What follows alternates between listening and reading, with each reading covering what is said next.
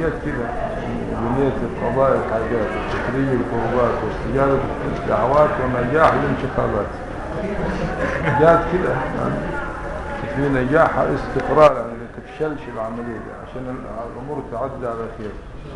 وتصل السفينة إلى بر الإيه؟ بر الأمان ولا عاوزين نبدأ. بسم الله الرحمن الرحيم. الحمد لله رب العالمين وصلى الله وسلم على سيد الأولين والآخرين سيدنا محمد النبي الأمي وعلى آل بيته الطيبين الطاهرين. وارض اللهم عن صحابته أجمعين والتابعين لهم بإحسان إلى يوم الدين. ربنا لا تزغ قلوبنا بعد إذ هديتنا وهب لنا من لدنك رحمة إنك أنت الوهاب. ربنا إنك جامع الناس اليوم لا ريب فيه إن الله لا يخلف الميعاد وبعد. وصلنا عند قول المصنف رضي الله تعالى عنه ونفعنا بعلومه في الدارين آمين ويجب لهم أيضا أي لمين للرسل والأنبياء عليهم الصلاة والسلام أنهم بلغوا وهذه هي الصفة إيه؟ الثالثة التي هي إيه؟ التبليغ أنهم بلغوا كل ما أمر المولى سبحانه بتبليغه ولم يتركوا شيئا منه لا نسيانا ولا عمدا. أما عمدا فلما سبق في الأمانة وأما نسيانا فللإجماع.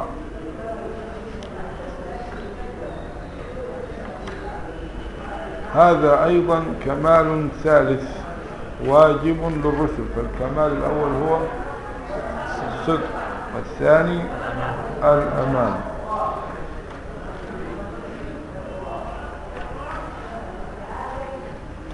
فدليل عدم ترك شيء من التبليغ داخل في الأمانة. لأنهم لو تركوا التبليغ عمدا لكانت هذه إيه؟ خيانة. وهذه ضد ما ثبت لهم من صفة الإيه؟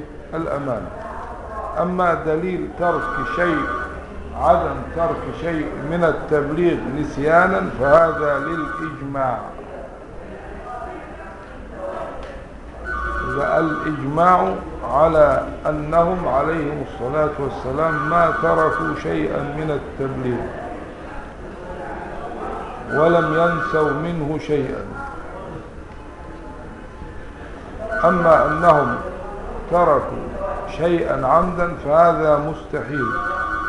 ليه؟ لأنه إيه؟ يخالف ما ثبت لهم من الأمانة التي هي العصمة. هذا أيضا كمال ثالث.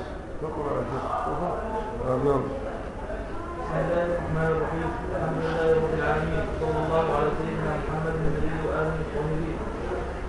قال المصنف رحمه الله ونفعنا بعلومه وعلوم شكونا الدارين امين ويجب لهم أيضا انهم بلغوا كل ما أمر المولى سبحانه بتبليغه ولم يتركوا شيئا منه لا نسيانا ولا عمدا أما عمدا فلما سبق في الأمانة وأما نسيانا فللإجماع. هذا أيضا كمال ثالث واجب للرسل عليهم الصلاة والسلام. ولاحظ أنه التبليغ واجب فيما أمر الله بتبليغه. وليس في كل إيه ما يعرفونه من الأسرار والعلوم والمعارف عن الله تبارك وتعالى. الدائرة فيه فيما أمروا بتبليغه.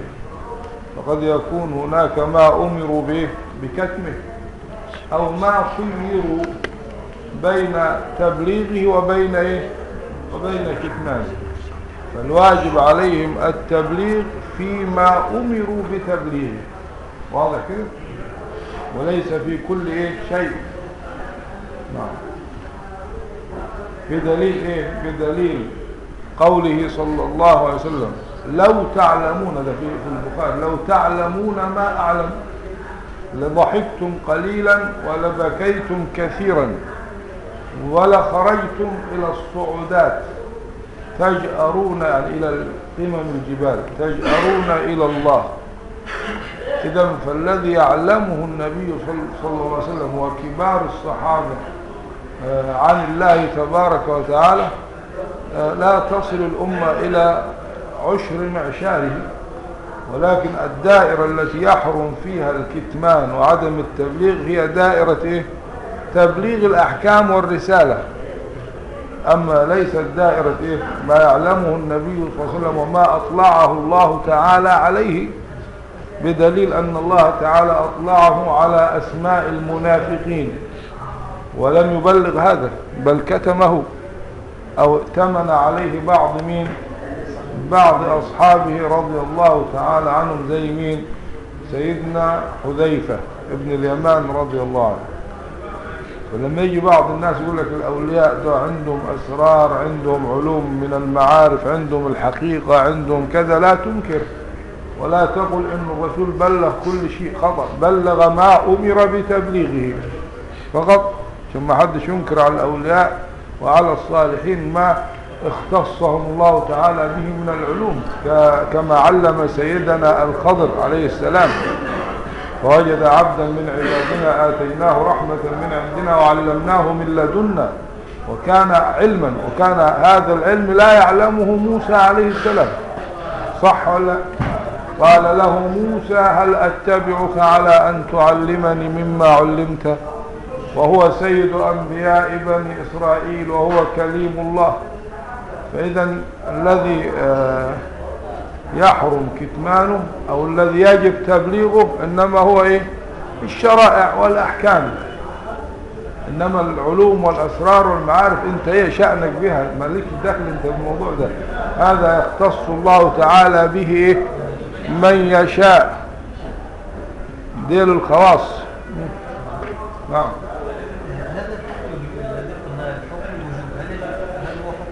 واجب علينا ان نعتقد انهم ام واجب على الانبياء ان يبلغوا واجب لهم يعني في حقهم بمعنى لا يتصور منهم أنهم يكتمون شيئا مما أمروا بتبليغه.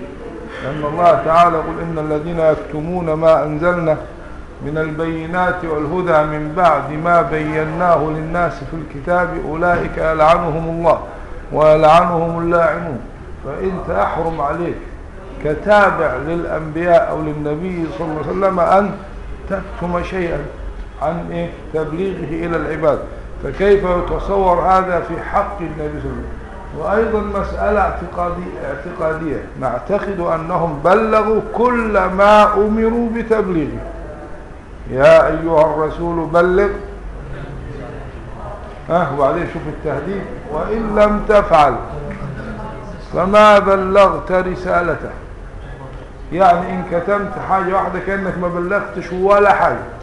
وإن لم تفعل فما بلغت رسالته. وبعدين طب اللي هيبلغ ده قد يعرضه للخطأ. ده هيبلغ حقائق صعبة. ده المسألة تتعلق باليهود والنصارى بأهل الكتاب. هيبلغهم أشياء يعني إيه شديدة ما حدش هيتحملها. قالوا ما يهمكش والله يعصمك من الناس.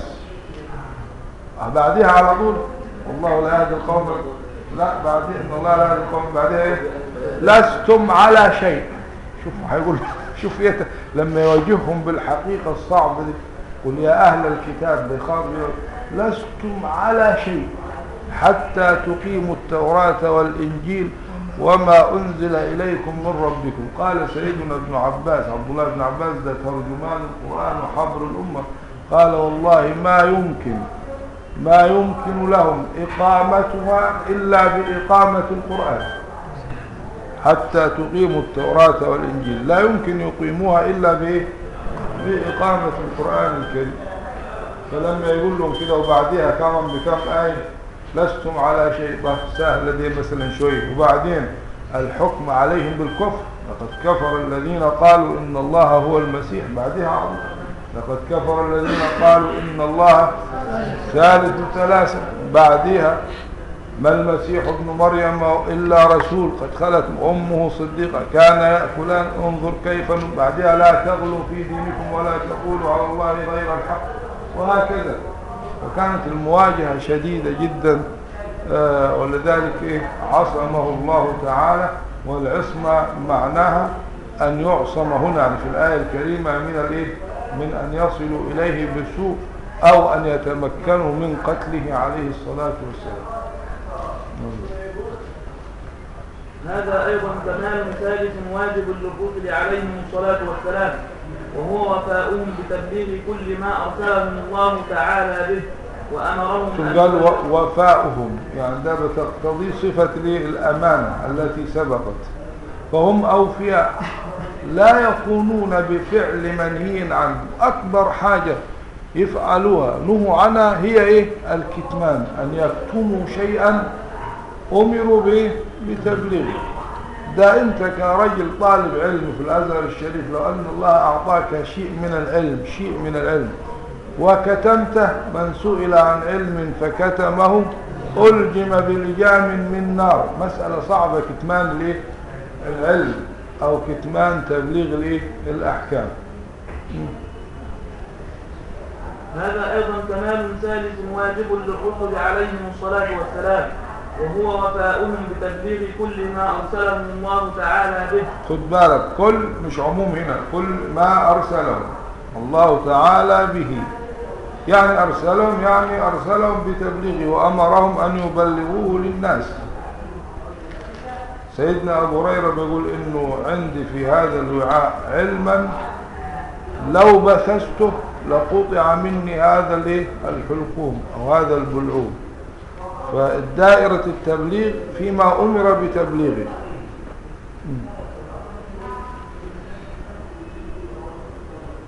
وهو وفاؤهم بتبليغ كل ما أرسلهم الله تعالى به وأمرهم أن يبلغوه للناس وأنهم لم يخفوا على الناس شيئا من ذلك لا عمدا ولا نسيانا.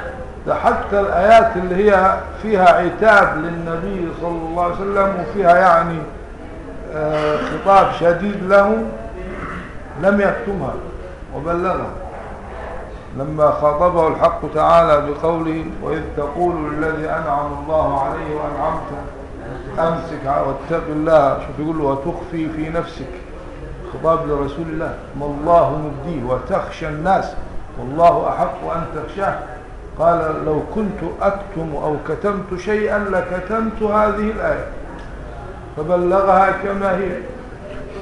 بل حتى لفظ قل لما يقول له قل يا أيها الكافرون ما خاطبهم بيا أيها وإنما حتى كلمة قل بلغها تدليل عليه على الدقة والنهاية ما ترك شيئا حتى يعني في أذهاننا أو في عقولنا لو حذف لا يضر. لكن لا قل يعني قل قل هو الله أحد. ما قالش الله أحد. قال قل هو الله أحد. نعم. والتبليغ في ذلك على الوجه الذي أمروا به من عموم الناس. يعني هذا يدلنا على أنه صلى الله عليه وسلم بل- بلغ القرآن كما أنزل عليه. كما أنزل.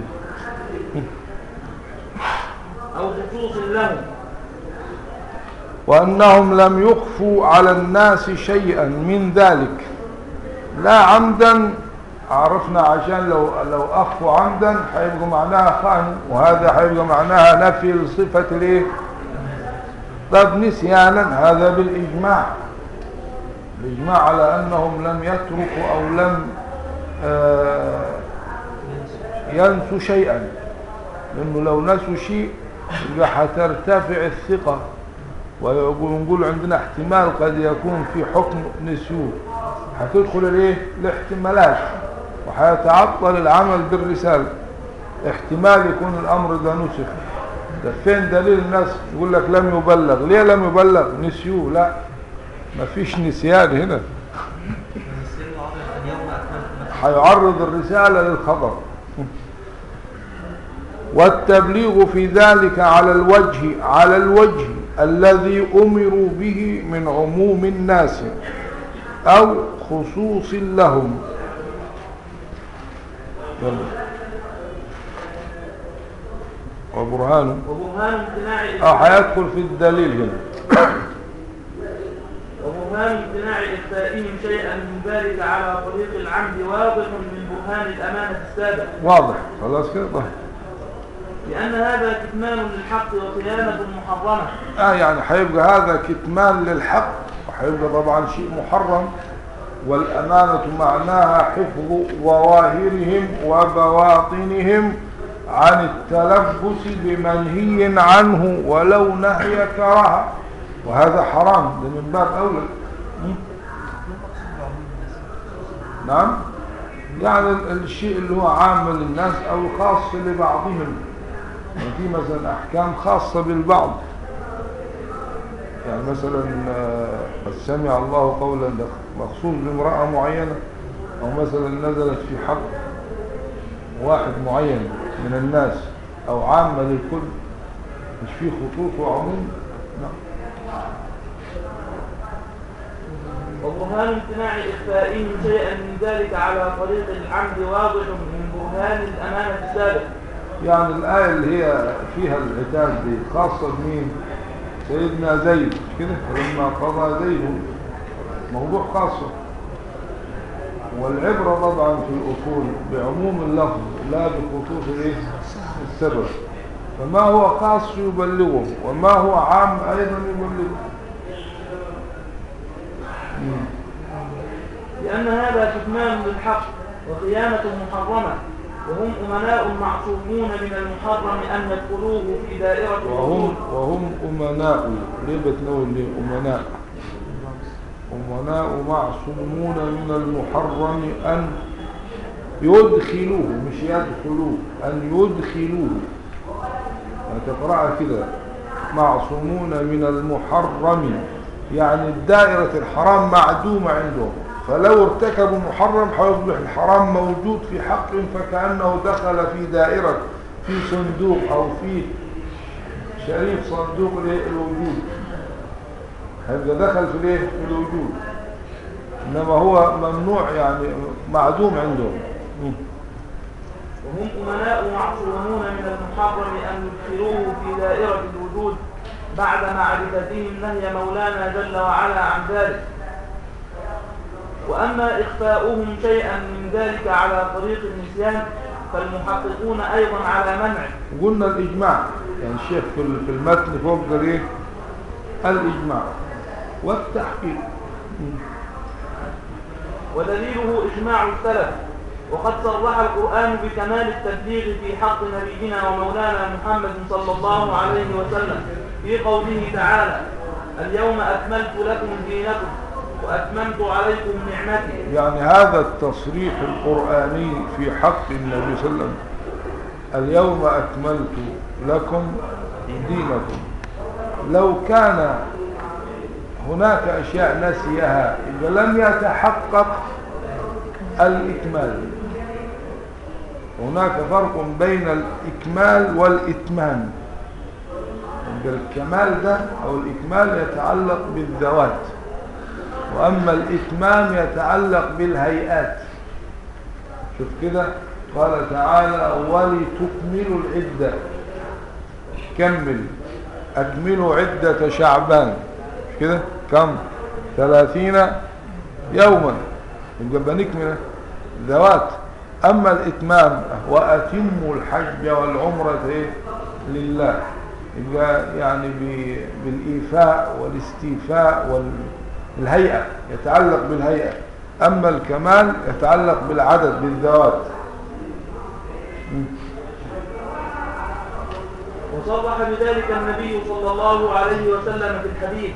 ولم يحضرني الآن لفظ الحديث.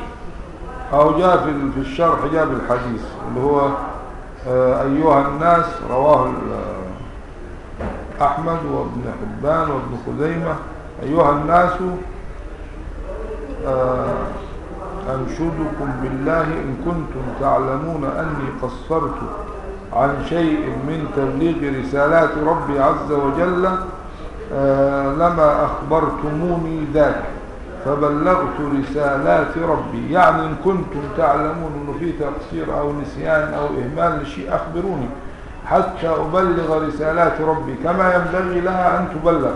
وإن كنتم تعلمون أني بلغت رسالات ربي برضه لما أخبرتموني أو لما أخبرتموني ذاك. فقام رجل فقالوا أو فقال يا رسول الله نشهد أنك قد بلغت رسالات ربك. ونصحت لأمتك وقضيت الذي عليك وحتى في حجة الوداع. قال اللهم هل بلغت؟ اللهم إيه؟ فاشهد. هذا يعني نص قرآني صريح إنه بلغ آه، ما أمر بتبليغه وأكمل ذلك. اليوم أكملت لكم دينكم. فكون يقول أكملت الحق سبحانه وتعالى وفي حاجة آه، زي ما انت واحد له عليك دين. وكل مرة تدفع إيه قسط. وجيت مرة نسيت. ولم يذكرك أحد. هل ينفع أن تقول أكملت سداد الدين؟ ينفع على ما تعتقد.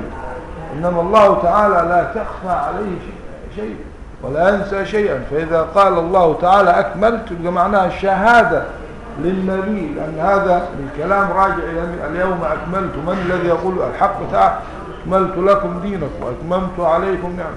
فقال نقول أكملت يعني على أو بواسطة مين؟ النبي صلى الله عليه وسلم. فهذه شهادة من الله تعالى لنبيه أنه إيه؟ أكمل الرسالة ووفى وأدى. صلى الله عليه وسلم. ولذلك في حديث عن السيدة عائشة هنا في البخاري اللي فيها من حدثك أن محمد ثلاث أشياء بتاع الرؤية ومنهم إيه؟ نسيان شيء. من حدثك أن محمدا كتم شيئا مما أنزل عليه وفي رواية من الوحي وعند مسلم من كتاب الله فقد كذب أو فقد أعظم على الله الفرية. يعني الكذب. مم.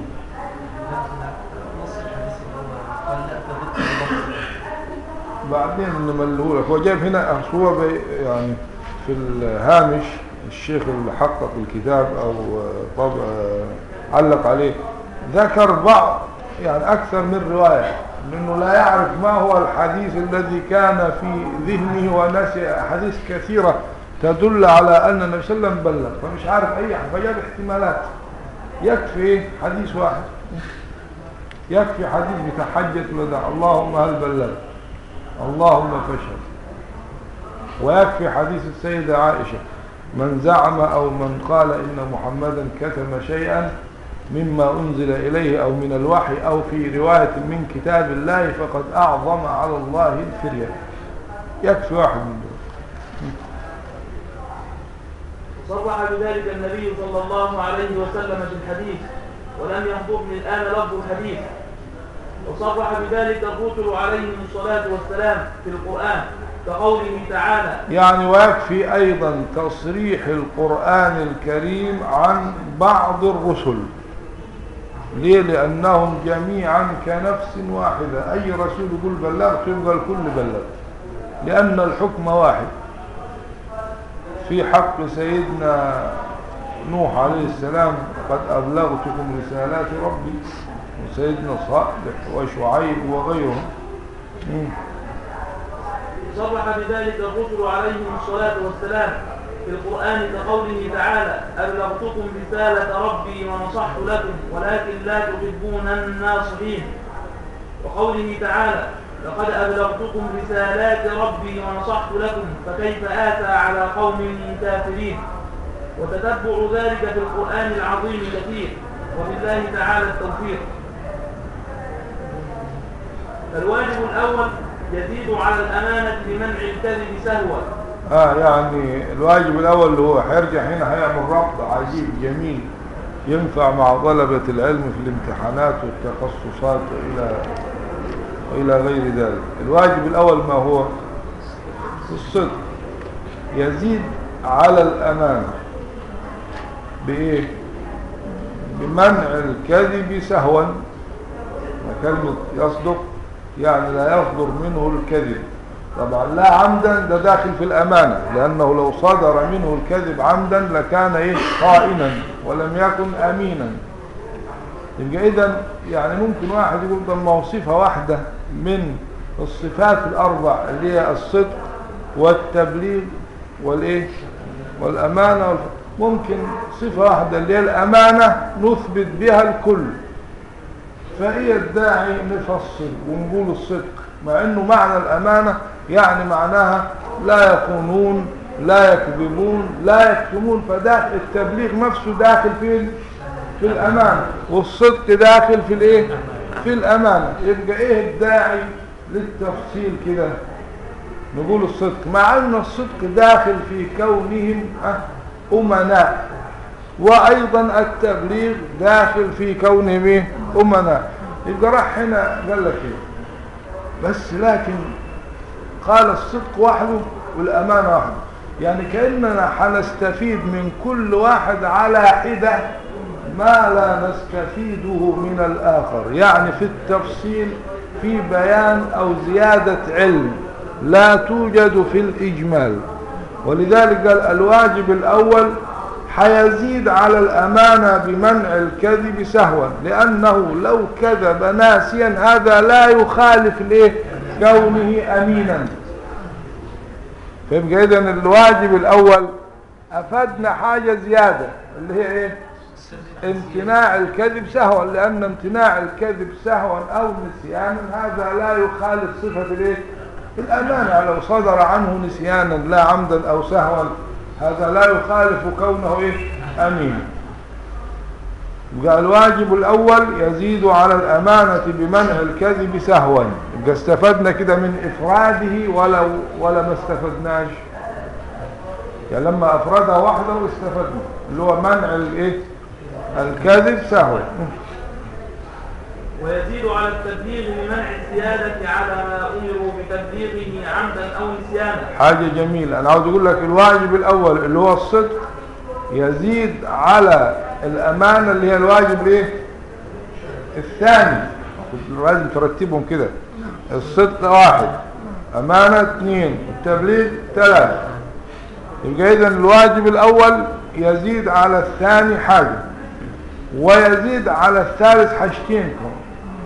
ويزيد على التبليغ بمنع الزيادة على ما أمروا بتبليغه عمدا أو نسيانا يعني الصدق فإن أنه زاد على الأمانة منع الكذب؟ سهوا وزاد على التبليغ بمنع الزيادة على ما أمروا بتبليغه يعني كأنه التبليغ معناه إيه؟ أن يبلغ ما أمر بتبليغه. افرض بلغ ما أمر بتبليغه وراح مبلغ حاجة من عنده هذه لا تخالف التبليغ هو بلغ. كونه زاد ده تمتنع بدليل آخر. تمتنع بإيه؟ بالصدق. يبقى إذا الصدق يمنع الزيادة على ما أمر بتبليغه عمدا لأنه لو زاد حاجة يعتبر غير صادق. يعني هو كذاب هو بيجيب من عنده بيفتري. يبقى إذا شوف الصدق منع إيه؟ زاد على التبليغ. بمنع الإيه؟ الزيادة على ما أمروا بتبليغه عمدا. يعني كونه صادق يعني معناها يبلغ ما أمر بتبليغه.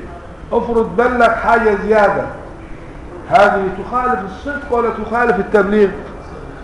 يبقى إذا زاد الأول على الثاني وزاد على الثالث. وأيضا لو بلغ شيئا زائدا نسيانا برضه هذا يخالف الصدق. يخالف الصدق سواء كان نسيان أو عمدا. بس لا يخالف الايه الأمانة في حالة الايه النسيان. فهمتوا؟ تفصيل حلو كده.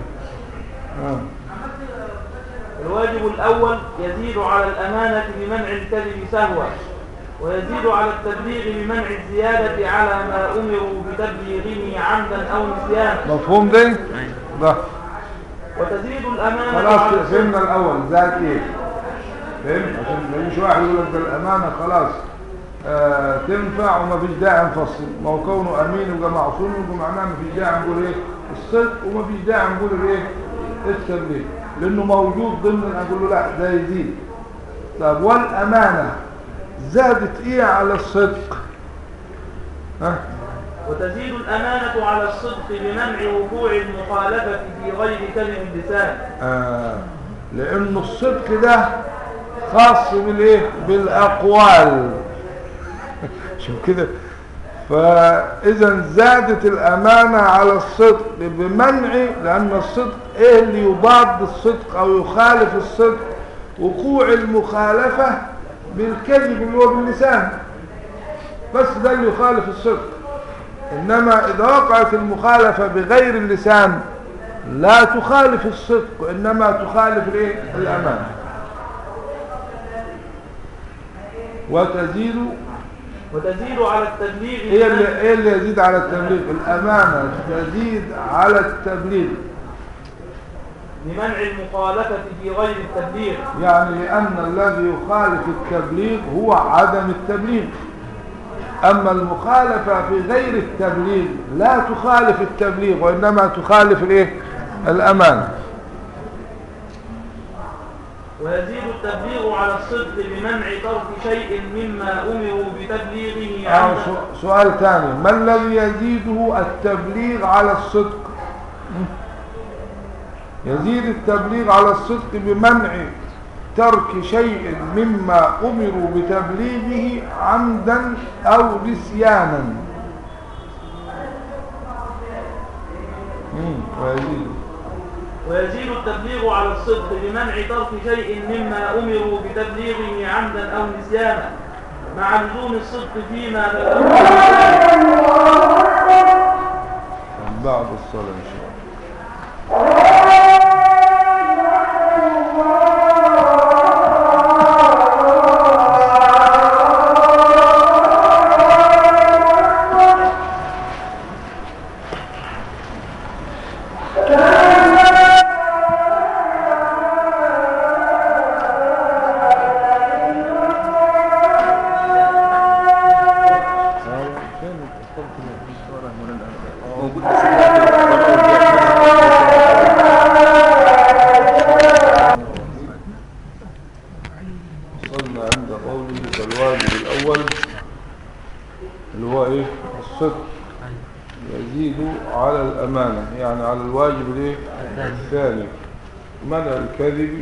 سهوا. يعني كأنه امتناع ال- الكذب سهوا إنما هو بمقتضى دليل الصدق وليس بمقتضى دليل الإيه؟ الأمانة واضح كده؟ يعني إذا امتنع الكذب سهوا بمقتضى دليل الإيه؟ الصدق وليس بمقتضى دليل الإيه؟ الامانه أما امتناع ال- الكذب سهوا يبقى بالدليل عمدا يبقى بالدليلين. يبقى بدليل الأمانة وبدليل الصدق أيضا. ولكنه يزيد عنه دليل الصدق في امتناع الكذب سهوا. ويزيد أي الواجب الأول هو الصدق على التبليغ بمنع الزيادة على ما أمروا بتبليغه عمدا أو نسيانا. فالزيادة على ما أمروا بتبليغه هذا ممتنع بدليل الإيه؟ بدليل الصدق. بمنع زيادة الزيادة على ما أمروا بتبليغه عمدا أو إيه؟ أو نسيانا وتزيد الأمانة على الصدق بمنع وقوع المخالفة في غير كذب اللسان. فالمخالفة في كذب اللسان هذه ممتنعة بدليل الايه الصدق. والزيادة على كذب اللسان ممتنع بدليل الإيه؟ بدليل الأمان. وصلنا عندنا؟ يلا. اللي مش مش عارف شيء أو مشتبه عليه شيء يسأل عنه. إذا كانت واضحة خلاص. فالواجب الأول يزيد على الأمانة بمنع الكذب سهوا ويزيد على التبليغ بمنع الزيادة على ما أمروا بتبليغه عمدا أو نسيانا. يعني نقول كده امتناع الكذب سهوا لو سألتك ده ممتنع بأي دليل؟ بإيه بالصدق. ويزيد على التبليغ بمنع الزيادة على ما أمروا بتبليغه عمدا أو نسيانا. يعني معناها اللي يخالف التبليغ أو الزيادة على ما أمروا بتبليغه هذا مش ممتنع بالتبليغ. لأنه اللي ممتنع بالتبليغ اللي هو أنه يكتم شيء مما أمر بتبليغه. يبقى إذن هذا الزيادة على التبليغ سواء كانت الزيادة عمدا أو نسيانا ممتنعة بدليل الإيه؟ الصدق. لأنه لو بلغ زيادة يعني معناها بيفتري يعني بيكذب يعني مثلا أنا ما قلتلوش بلغ وراح بلغ. أنا قلت له بلغ شيء معين فزاد عليه. فهذه الزيادة تعد كذبا سواء كانت نسيان أو إيه؟ أو عمد. فليست ممتنعة بدليل التبليغ وإنما ممتنعة بدليل الإيه؟ الصدق. نعم؟ وبدليل الأمانة أيضا. إيه ده؟ اللي هو آه العمد يبقى ممتنع بهما. مم. كويس كده. وتزيد الأمانة على الصدق بمنع وقوع المخالفة في غير كذب اللسان يعني معناها لو وقع الكذب هذا يمنع دليل إيه؟ دليل ما هو الكذب مخالفة الكذب ذنب. ولكن هذه المخالفة ممتنعة بدليلين.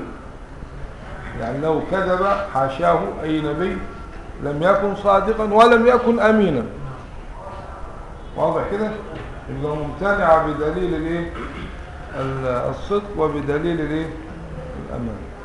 المخالفة المخالفة. بس اللي ممتنع بدليل الصدق اللي هو إيه؟ كذب أو كذب اللسان. غير اللسان امتنع بإيه؟ بدليل الأمان. بدليل الايه؟ الأمان. لأن المخالفة إما أن تقع باللسان فتكون كذبا لأن الصدق أو الكذب شاع في الأقوال في مخالفة بالرجل مثلا في مخالفة باليد في مخالفة بالعين. كل ده ممتنع بدليل الايه بدليل الأمانة. أما الذي هو مقصور على دليل الصدق اللي هو القول المخالفة في إيه؟ في كذب اللسان. مم. وتزيد على التبليغ بمنع المخالفة في غير التبليغ. إيه اللي يزيد على التبليغ. الأمانة. الأمانة. لأنه إذا بلغ خلاص. إذا كده لم يخالف في كونه مبلغا. أما إذا خالف في غير التبليغ فهذا ممتنع بدليل الأمانة. أظن واضح. شوف يعني في تداخل بين بين الإيه؟ بين الأمانة والصدق والايه؟ والتبليغ لسه ده جاي الكلام فصبر جميل. ويزيد التبليغ على الصدق بمنع ترك شيء مما أمروا بتبليغه عمدا أو نسيانا. شوف خد بالك حتى التبليغ زاد على الصدق. بمنع ترك شيء مما أمروا بتبليغه عمدا أو نسيانا. يعني إذا إذا تركوا شيء مما أمروا بتبليغه هذا ممتنع بدليل الإيه؟ بدليل الإيه؟ التبليغ. تمام كده؟ سواء كان عمدا الترك ده أو إيه؟ أو نسيانا. واضح كده؟ هذا ممتنع بدليل الإيه؟ التبليغ. وأيضا ممتنع بدليل الإيه؟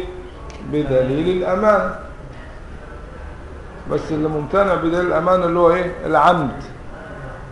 مم. ويزيد التبليغ على الصدق بمنع ترك شيء مما أمروا بتبليغه عمدا أو نسيانا مع لزوم الصدق فيما بلغوا من ذلك. ويزيد على الأمانة بمنع ترك شيء مما أمروا ويزيد الضمير يعود على إيه ويزيد ها التبليغ على الامان ويزيد على على الأمانة بمنع ترك شيء مما أمروا بتبليغه نسيانا. آه يعني هذا زاد إيه مش بالأمانة لأن الأمانة تمنع إنه يترك شيء عمدا. أما إذا تركه نسيانا هذا ليس ممتنعا بدليل الأمانة وإنما هو ممتنع بدليل الإيه؟ التبليغ. أرأيت هذا التداخل العجيب بين الواجبات للرسل عليهم الصلاة والسلام. يعني عرفنا إنه التفصيل فيه زي- مزيد فائدة. فلو قلنا صفة واحدة وقلنا الباقي بطريق الايه؟ الالتزام مش هيكفي لأنه هيبقى فيه نقص هنا وفي زيادة هنا. مم. تعرضنا في أصل, في أصل العقيدة لما بين هذه الواجبات الثلاثة من النسب. أهو جالك السؤال اللي أنت بتسأل عنه. جالك الموت يا تارك الصلاة. آه. تعرضنا في أصل العقيدة لما بين هذه الواجبات الثلاثة من النسب. لئلا يتوهم أن فيها تكرارا أو أن فيها ترادفا أو تساويا أو عموما وخصوصا بالإطلاق بحيث يستغنى بالأخص عن الأعم. يعني لا تقل إن فيها ترادفا ولا تساوي ولا عموم وخصوص وجهي آه، ولا عموم وخصوص بالإطلاق. إنما ممكن يكون في عموم وخصوص وجهي آه، بالإطلاق بحيث يستغنى بالأخص عن الأعم. مم. فنبهنا على أن بينها عموما وخصوصا من وجه. على أن بينها يعني بين الواجبات الإيه؟ افهم عود الضمائر. بينها يعني بين الواجبات الإيه؟ الثلاث فنبهنا على أن بينها عموما وخصوصا من وجه. فلا يمكن حينئذ الاستغناء ببعضها عن بعض يعني الفائدة المهمة من هذا أنه لا يمكن الاستغناء ببعضها عن البعض ليه؟ ما ينفعش نستغني بالأمانة عن الصدق وعن التبليغ ليه؟ لأننا رأينا ما زاد عن الأمانة بدليل الصدق وما زاد عن الأمانة بدليل؟ التبليغ هذه الفائدة المهمة أنه لا يمكن الاستغناء بالبعض عن البعض الآخر لأننا رأينا في كل واحد زيادة على صاحبه. لا تفهم إلا منه. يعني لا تفهم من الإيه؟ من الأمانة وحدها ولا من التبليغ وحده لكن لا تفهم إلا منه. هذه الزيادة ولو كانت زيادة يعني آه، بسيطة جدا. أو قليلة ولكنها لا تفهم إلا إيه؟ إلا منه. نعم. هو لم يقل آه، وخصوصا بالإطلاق بحيث آه، بالأخص عن الأعم أنا أفهم أن أستغنى بالأعم عن الأخص لأنه يشمله لكن كيف أستغنى لا ده على العكس. تستغني بالأخص عن الأعم. مش تستغني بالأعم عن الأخص لأن أنت محتاج له هو الأخص. أيهما يستغنى به عن الآخر؟ الأخص عن الأعم ولا الأعم عن الأخص؟ يستغنى بالأخص عن الأعم. واضح؟ إنما العموم خلاص داخل الخصوص إيه؟ يتضمنه أو يشمله فلا يقال نستغني بالعام عن الخاص إنما يقال فيه نستغني بالخاص عن العام واضح؟ لكن الخاص لا يشمل العام حتى نستغني به. آه الخ... اللي هو يتصور فيه الاستغناء اللي هو الخاص. يستغنى به عن الايه؟ عن الأعم مم. فنبهنا على أن بينها عموما وخصوصا من وجه فلا يمكن حينئذ آه يعني إذا ليس بين الواجبات ترادف يعني ليست مترادفة. وعارفين يا معنى الترادف؟ عارفين الترادف يعني؟ يعني يكون لفظين آه، متحدين في ترادف واللفظ إيه؟ اللفظ متعدد. والمعنى إيه؟ واحد. والتساوي يعني إيه معنى التساوي؟ يعني يتساويان في المفهوم أو في المصدر وعموم وخصوص مطلق معروف. العموم والخصوص المطلق. أن يجتمع في في مادة وينفرد الايه الأعم منهما في مادة إيه أخرى ليس بينها لا ترادف ولا تساوي ولا عموم وخصوص مطلق. أما لابد يكون في بينها نسبة. هي العموم والخصوص الوجهي. خلاص كده؟ يبقى هنرى أن بينها عموم وخصوص وجهي.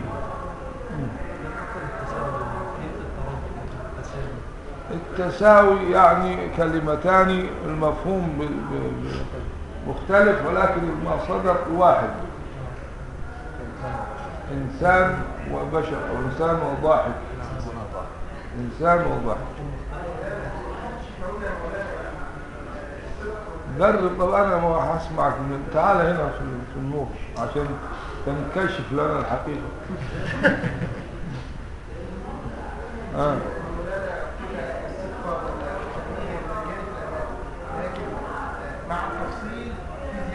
أي تمام يعني معناها يزيد معنى لا يفهم إلا منه إلا إلا منه من الصدق. يعني يزيد الصدق على الأمانة ويزيد التبليغ على الأمانة كل واحد يزيد بشيء لا يفهم إلا منه فما ينفعش نستغني بواحد عن الآخر. ولأجل هذا ليس بينها عموما وخصوصا مطلقا. فلو كان بينها عموم وخصوص مطلق لاستغنينا بالخاص عن العام. صح ولا؟ ولو كان بينها ترادفا يبقى خلاص واحد زي الثاني يكفي. ولو كان بينها تساويا خلاص أي واحد فيهم. فهمت كده؟ يبقى إيه اللي يخلينا ما ينفعش نستغني؟ ده عن ده ولا ده عن ده؟ اللي هو العموم والخصوص الوجهي. إيه معنى عموم وخصوص وجهي يعني يجتمعان في مادة وينفرد لا الأعم ولا الأخص. ده كل واحد حينفرد يعني كأن الصدق انفرد بشيء والتبليغ انفرد بشيء لا يوجد في الأمانة والأمانة انفردت بشيء لا يوجد فيهما. مفهوم؟ فنبهنا على أن بينها عموما وخصوصا من وجه فلا يمكن حينئذ الاستغناء ببعضها عن بعض لأن كل واحد يزيد على صاحبه بزيادة لا تفهم إلا منه. وبيان ذلك وبيان ذلك يعني البرهان البرهان على ذلك. أن الواجب الأول وهو الصدق يزيد على الأمانة بمنع الكذب سهوا.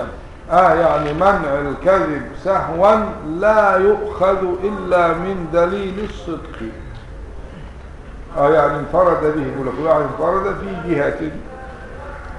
أي هذه النقيصة إنما يفهم امتناعها في حق الرسل عليهم الصلاة والسلام من الواجب الأول. يعني الكذب سهوا نقيصة ولكنها لا تدري أو لا تنافي الأمان وإنما تنافي الصدق. فإذا لا يفهم امتناعها إلا من الواجب الأول الذي هو الصدق لأن الصدق عام في كل قول. ولا يقال إن الصدق فقط فيه فيما هو إيه؟ آه عمد أو نسيان. آه لا الصدق عام لأن الصدق هو إيه؟ مطابقة الخبر للواقع. خلاص كده؟ يبقى ده يشمل كله. آه. وبيان ذلك أن الواجب الأول وهو الصدق يزيد على الأمانة بمنع الكذب سهوا أي هذه النقيصة إنما يفهم امتناعها في حق الرسل عليهم الصلاة والسلام من الواجب الأول الذي هو الصدق لأنه عام في كل قول ولا يفهم امتناعها من الواجب الثاني. آه لأن الواجب الثاني يمنع من وقوع المعصية والمكروه مش كده؟ مش هي معنى الأمانة. هي حفظ ظواهرهم وبواطنهم من التلبس بالمنهي عنه. إيه المنهي عنه. اللي هو المعصية المع... الحرام يعني والمكروه. أما الكذب سهوا ليس بحرام وليس بمكروه. حد يقدر يقول فعشان كده ما يمتنعش بدليل الأمانة. وإنما يمتنع ما هو اسمه كذب. كذب ولا مش كذب؟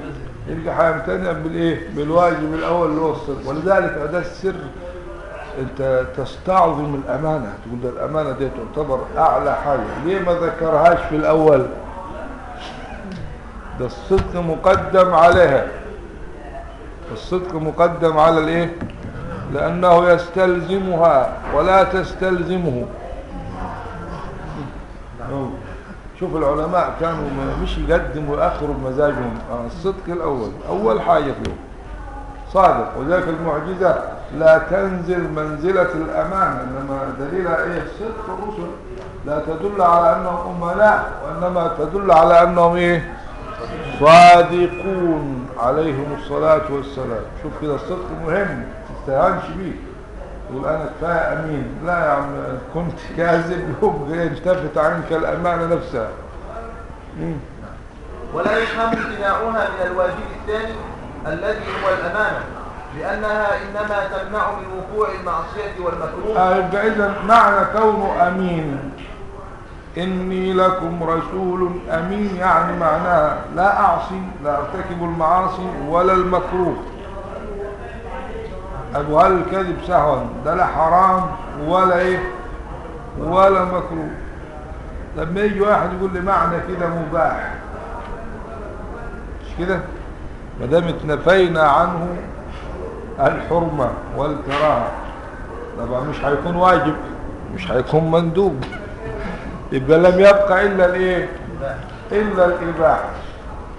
طب ليه ما ينفعش نقول مباح لأنه لا يقع تحت التكليف ده كذب سهوة. يعني هو الإنسان بيسهى باختياره. ده حاجة بت- بتحصل له من غير هو إيه؟ ملوش فيها دخل. ما ملوش فيها إيه؟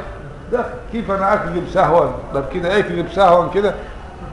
ما هو لو نوية تكذب سهوا هيبقى ده مش سهوا ده عمدا. يبقى ما يدخلش في الايه في الموضوع. آه. نعم.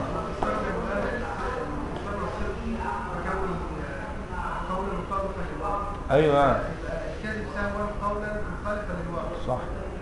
العصمة يا مولانا لا تمنع من وقوع هذا ما قلنا كل واحد بيزيد ما, ب... ما مش بيأخذ من من مش قلنا إيه بينها عموم وخصوص إيه؟ وجه بمعنى إنه في شيء ممنوع ولكن مش مأخوذ من هذا الدليل وإنما من الدليل الأول أو الثاني أو الثالث على التفصيل.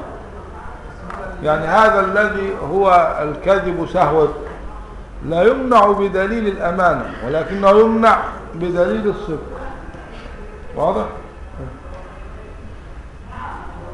ولا يفهم امتناعها من الواجب الثاني الذي هو الأمانة لأنها إنما تمنع من وقوع المعصية والمكروه والكذب سهوا ليس بحرام ولا مكروه فلا منافاة بينه وبين الأمانة. آه يبقى إذا تقع المنافاة بينه وبين الصدق. ولا تقع المنافاة بينه وبين الأمانة. واضح؟ إذا الكذب سهوا ليس بحرام ولا مكروه حتى يكون منافيا للأمانة ولكنه مناف للصدق لأن الصدق هو مطابقة الخبر للواقع والكذب هو عدم المطابقة. هو منافي يعني في بينهما تنافي لكن لا يوجد تنافي بينه وبين الإيه؟ وبين الأمانة مولانا مختصة بالأفعال العمدية فقط الأمانة تمنع ما هو حرام وما هو مكروه. في بعد كده اختلفوا. هل خلاف الأولى ده موضوع تاني؟ مش عايزين ندخل فيه. إنما هو الممنوع باتفاق الحرام وإيه؟ والمكروه. يعني لا يرتكبون صلوات الله وسلامه عليهم حراما ولا مكروها. ويزيد أيضا الصدق على الواجب الثالث الذي هو التبليغ العام. آه يعني يزيد الصدق على الواجب الثالث اللي هو التبليغ العام. بمنع الزيادة على ما أمروا بتبليغه عمدا أو نسيانا. أي هذه النقيصة لا تفهم من الواجب الثالث لأنها وقعت بعد التبليغ العام فلا تنافيه. أصله هو بلغ وخلاص كونه بعد ما بلغ بلغ تاني زيادة يبقى هذا لا ينافي التبليغ لأنه طالما هو بلغ ما أمر بتبليغه وقع التبليغ أم لا؟ وقع. راح بعد كده فكر في حاجة جديدة وبلغها من عنده. إيه معنى بلغ؟ وهذه لا تنافي التبليغ لأنه تم. إنما تنافي إيه؟ تنافي الصدق. طب ليه تنافي الصدق؟ ما هو افترى كذب. لأنه قال أنا حاجة دي الشيء ده أمرني الله وهو لم يأمره وهو مش داخل في التبليغ. ده ما ينافيش التبليغ لأن التبليغ تم. راح مبلغ زيادة ده تنافي الايه تنافي الصدق. هيقول له ما بلغتش يقول له بلغت. آه إنما بلغت زيادة يعني معناها ده إيه؟ مش هيقول له ما بلغتش هيقول له ما صدقتش. لم تكن إيه؟ صادقا هذه لم تستفد إلا من دليل الإيه؟ إلا من دليل الصدق إنه يزيد حاجة. عارف لو نقص يبقى ممتنع بالإيه؟ بدليل التبليغ. لو نقص إنما لو زاد لأن الزيادة عبارة بعد التمام. أي هذه النقيصة لا تفهم من الواجب الثالث؟ لأنها وقعت بعد التبليغ العام فلا تنافيه. لا تنافي وتفهم من الواجب الأول الذي هو الصدق. لأن هذه الزيادة كذب. آه يعني كيف فهمت من الواجب الأول؟ لأن هذه الزيادة كذب ووجوب الصدق يدفعها. لأنه لو كان صادقا لما بلغ شيئا زائدا. صادق يعني معناها تقول كده شوف الصحابة مع دقة الرواية أول ما ابن مسعود كان يقول حديث كان يصفر ويحمر ويتغير لونه. وساعات إيه يضطرب ويخاف لا يكون. ده حديث مش قرآن ده بيقول حديث. فيروح يقول إيه؟ أو كما قال. تعال واحد يتبجح على المنبر والأحاديث كلها موضوعة وكلها غلط. وما يقول ما يحتاطش حتى ما يقولش ما معناه. يروح يقول لك قال على طريقة الإيه؟ الجزم والقطع. إيه؟ ده أنت لو مش حافظه كويس تقول ما معناه. أو كما قال. والغريب ساعات إيه يكون معاه ورق. يا ريت كمان ده يقول كده ومن نفسه نقول مثلا ده سهوا لا ده عمدا إنه ورق يعني ده منافي الصدق ومنافي التبليغ ومنافي الأمانة حاجة غريبة. مرة أنا واحد قال لي تعالى احضر عندي الايه الجمعة. قلت له يا أخي سيبني أنا أروح أصلي في أي مجال. لا لازم تيجي بس يا ريت تحاول إيه يعني كان في ملاحظات من باب الايه الاستفادة. هو معهوش أصلا كده هو عاوز مدح وعاوز ثناء وعاوز يعني إيه إطراء بالباطل.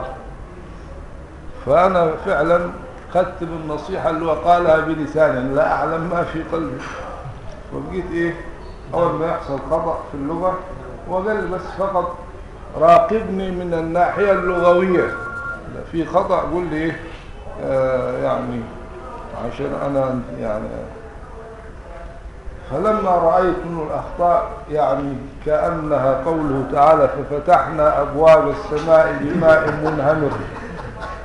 فلم أستطع ملاحقة الأخطاء النحوية. فبقيت قلت لجأت إلى حيلة. قلت لو قال شيئا صحيحا حال حسجل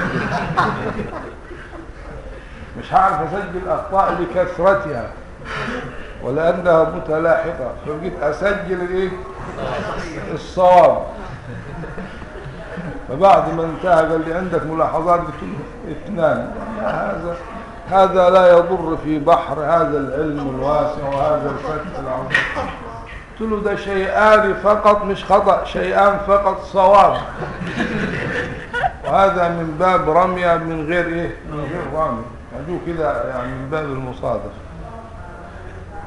ومع العلم أن هذه الخطبة التي وقع فيها صوابان فقط كانت مكتوبة ويقرأها من ورقة أما لو كان يرتجلها ارتجالا لماذا فعل فيها؟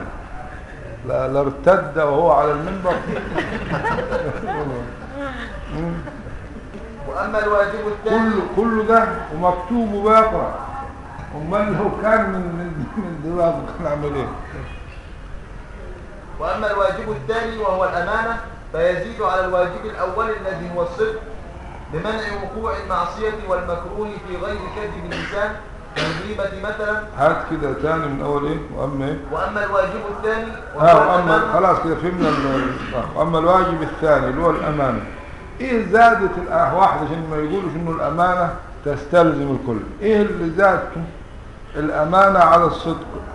الآن حن- حنعرف. وأما الواجب الثاني وهو الأمانة فيزيد على الواجب الأول الذي هو الصدق بمنع وقوع المعصية والمكروه في غير كذب اللسان. آه لأن الصدق خاص بمنع كذب اللسان لأن الصدق شاع في الأقوال. فيقال صدق أو كذب بما إيه؟ يتعلق باللسان. كالغيبة مثلا والنظر العمد للأجنبية من غير ضرورة فهذه النفيسة إنما تفهم. إنما الواجب الثاني الأمانة يزيد على الأول بمنع وقوع المعصية والمكروه في غير كذب؟ اللسان. يعني معناها كذب اللسان زاد بالصدق.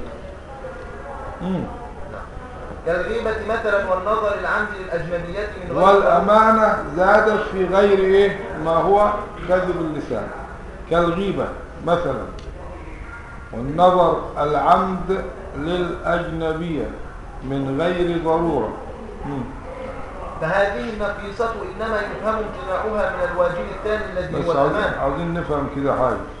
الصدق الواجب الثاني الأمانة يزيد على الواجب الأول اللي هو الصدق بمنع وقوع ال- المعصية والمكروه في غير كذب اللسان ده مفهوم. كالغيبة مش كده؟ لما توقعوا هتقول الغيبة الغيبة. الغيبة اللي هي ضد الحضور. أنا شفت مرة واحد في الجمعة كلها يتكلم على تحريم الإيه؟ الغيبة والنميمة ويقولها في الخطبة بلفظ الغيبة. الغيبة حرام. كل ال- الخطبة بال- باللفظ كده. مع إنه هو يقصد الإيه؟ الغيبة بالكسر بس حاجة واحدة بس فقط الكسر والفتح. طب الغيبة مثلا دي ترجع على إيه؟ ما هو الكذب آه، الغيبة. لا الغيبة دي إيه؟ معصية باللسان لكنها ليست بالمركز آه معصية باللسان ولكنها ليست إيه؟ كذب. لأنه لأنه الغيبة ممكن تكون صدق. ممكن تكون موافقة. ولذلك إيه تعريف الغيبة؟ شوف افهمها. ذكرك أخاك بما يكره حتى وإن كان صدقا. افرض كان كذب ده مصيبة تاني مصيبة يعني ذكر ذكره بما يكره وهو صدق. ده ما اسموش كذب ده اسمه إيه؟ غيبة إنما إذا ذكرته بما يكره وهو كذب اسمه بهتان ده. بهتان. والبهتان أعظم من الغيبة. لأن الغيبة أنت فيها صادق ولكن البهتان أنت فيه كاذب. يبقى جمعت إيه؟ مصيبة مصيبتين مش كده؟ ومن يكسب إيه؟ خطيئة أو إثما فقد احتمل بهتانا. يبقى الغيبة شوف كده الغيبة دي باللسان مش كده؟ ولكنها ليست كذبا. طب والنظر العمد للأجنبية ده خلاص ده بال- بالعين ده مخالفة ولكنها بالإيه؟ بالعين. نعم.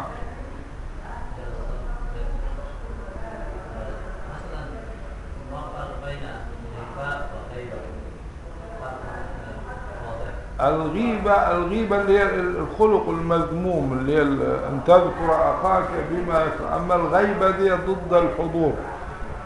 غيبة؟ يعني مثلا في واحد يقول لك غاب عنا غيبة. يعني انقطع غيبة طويلة. ما هذه الغيبة؟ الغيبة يعني عدم الايه؟ عدم الحضور. إنما المعصية اللي هي ذكرك أخاك بما يكره دي اسمها إيه؟ غيبة وليست إيه؟ وليست غيبة. وعن غيبة الشاطئ قالوا عن غيبة فغب تحضر حضار القدس أنقى مغسل نعم.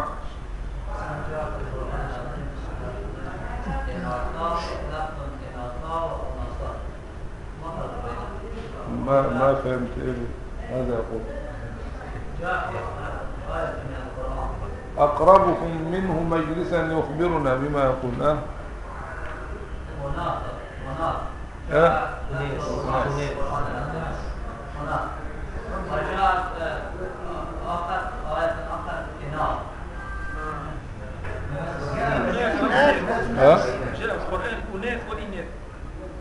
الفرق يعني في اللغة إحنا ده مش موضوعنا ده إحنا في الغيبة ما خلاص جاوبنا عن واحدة فما تجرش القاموس كله. إحنا مش, مش فاضيين معلش الفتح حلال والكسر حرام إيه ده؟ غيبة حلال. إنما الغيبة هي اللي حرام. ماشي الله. وأما الواجب الثاني وهو الأمانة فيزيد على الواجب الأول الذي هو الصدق بمنع وقوع المعصية والمكروه في غير كذب اللسان كالغيبة مثلا والنظر العمد للأجنبية من غير ضرورة. ولذلك قال في غير كذب في غير كذب اللسان. نعم. ولم يقل في غير معصية اللسان. لأن الغيبة معصية للسان. لأن الغيبة معصية باللسان ولكنها لا تسمى كذبا. يبقى إذا اللسان ممكن تحصل منه مخالفات غير الكذب. زي الايه؟ الغيبة تقع بالايه؟ آه باللسان. وفي حاجات تانية. السباب والسباب والشتم. كالغيبة واللعن والتكفير والتضليل والتبديع والتجريح. يعني قول في غير كذب اللسان يشمل المعصية باللسان؟ غير الكذب والمعاصي الأخرى من الجوارح جميل وهو كالغيبة جاب جاب المثال للعين والنظر العمد للأجنبية. لأنه هذا يقع من غير اللسان يقع بالعين. وفي معصية بالرجل وفي معاصي بالبطن بالفرج إلى آخره. فهذه النقيصة إنما يفهم امتناعها من الواجب الثاني الذي هو الأمانة لمنافاتها للمعصية والمكروه. آه هذه النقيصة اللي هي في غير كذب اللسان. يفهم امتناعها من الواجب الثاني اللي هو الأمانة لأنه الأمانة معناها امتناع صدور معصية يعني حرام أو إيه؟ أو مكروه. ولا يفهم امتناعها من وجوب الصدق لأنها ليست بكذب حتى يتبعها الصدق. وتزيد الأمانة أيضا على الواجب الثالث الذي هو التبليغ العام بمنع المعصية التي لا تتعلق بالتبليغ. يعني يعني معناها ممكن الواحد يكون صادق وما يكونش أمين شوف كده آه. وممكن يكون أمين وما يكونش صادق لأن في حاجات تتعلق.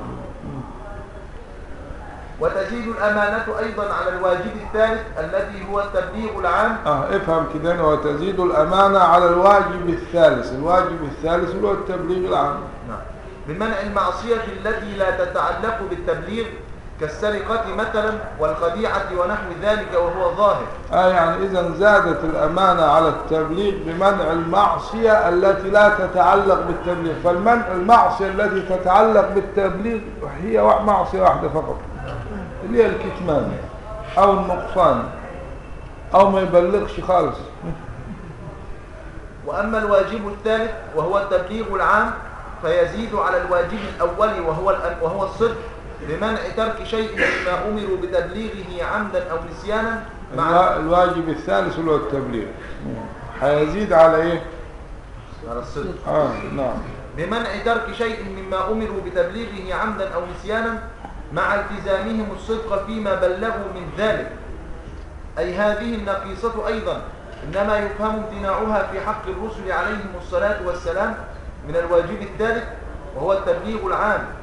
بمنع آه، ترك شيء مما أمروا بتبليغه عمدا مفهوم الكلام. مع التزامهم الصدق فيما بلغوا يقول لك والله أنا ساعة ما بلغت صدقت ما بلغت تمام على لكن خلاص أنا بلغت.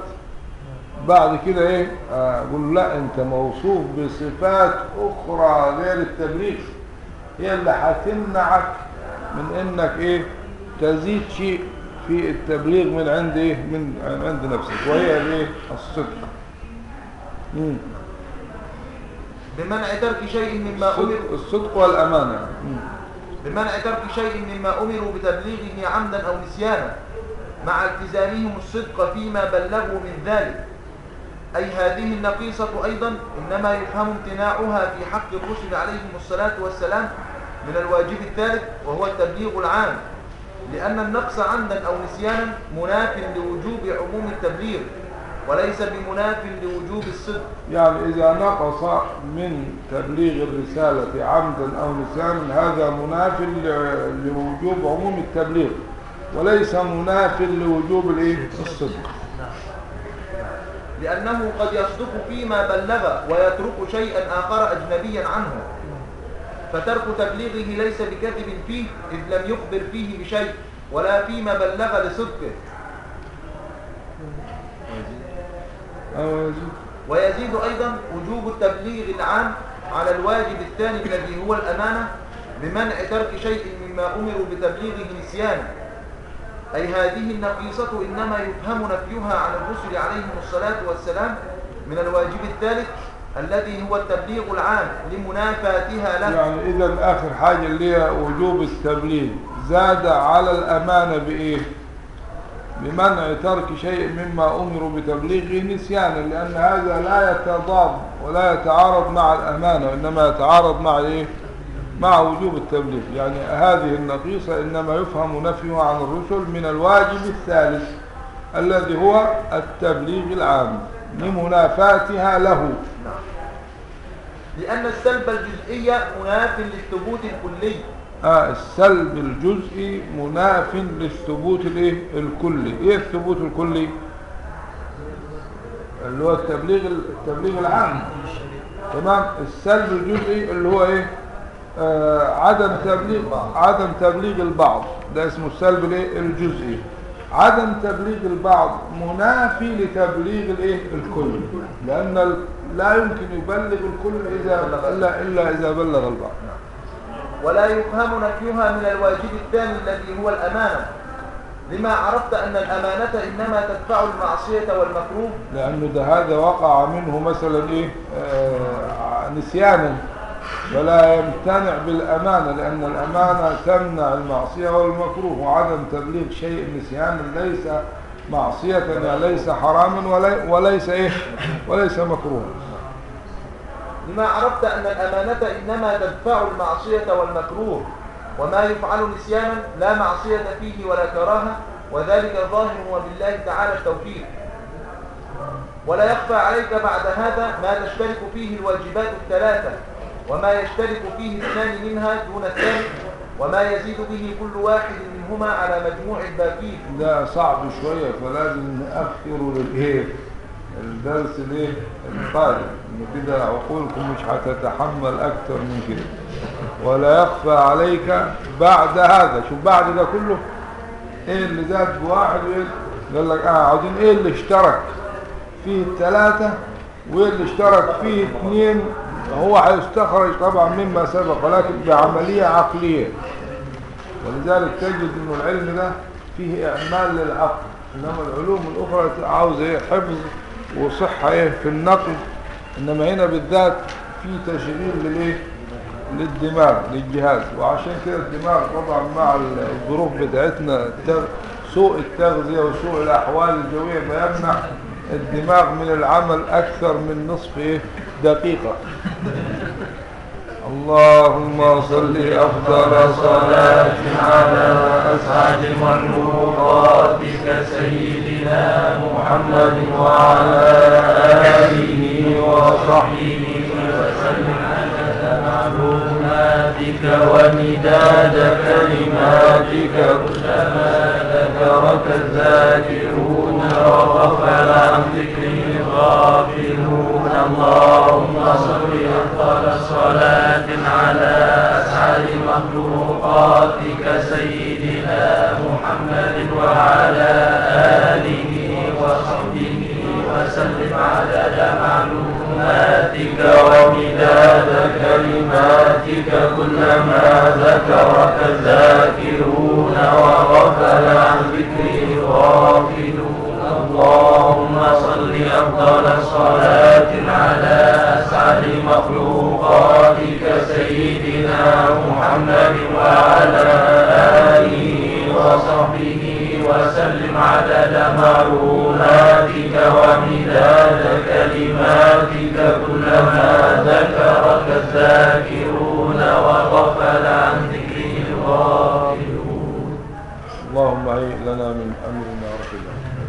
اللهم ثبت قلوبنا على الإيمان والإسلام. اللهم اجعلنا من الراشدين. اللهم جنبنا الزيغ والفتن والأهواء. اللهم وحد بين صفوف المسلمين. واجمع الكلمة على كلمة سواء يا رب العالمين. ووفقنا لما تحبه وترضى اللهم استجب بفضلك دعاءنا. وبلغنا مما يرضيك آملنا. واجمع على الحق كلمتنا. يا رب العالمين واشف مرضانا وارحم أمواتنا. اللهم اجعلنا من المسابقين والمسارعين إلى فعل الخيرات ومن المجتنبين لكل المنكرات يا رب العالمين. وصلى الله وسلم على سيدنا محمد وعلى آله وأصحابه أجمعين.